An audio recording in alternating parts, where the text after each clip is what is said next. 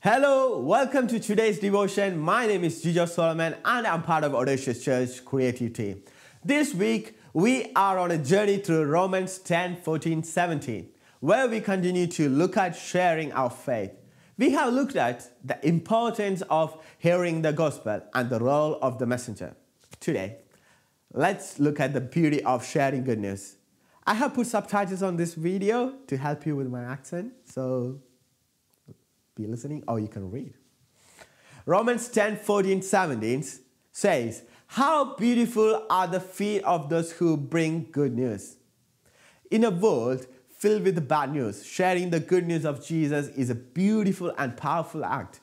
Paul quotes Isaiah here to highlight how precious it is to be a bearer of the gospel. When you share Christ with others, you are not just offering information, you are bringing hope, life, and salvation.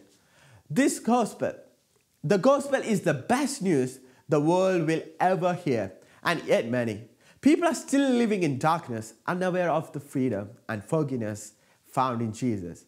As a believer, you have the incredible privilege of being a carrier of this good news.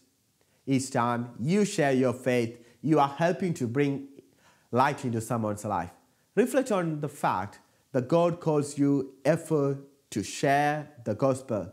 Beautiful. Even if it is, feels awkward or you face rejection, remember that every seed you plant can make an eternal difference. You may not always see the immediate result, but God is faithful to use your efforts and His kingdom. So let me pray for you. Lord, Thank you for the privilege of sharing the good news of Jesus. Help me to see the beauty in being your messenger and give me the courage to share your hope with those who need it most. Amen. Love you, church. Join me tomorrow as we continue our journey and look at the faith comes by hearing. Have a great day.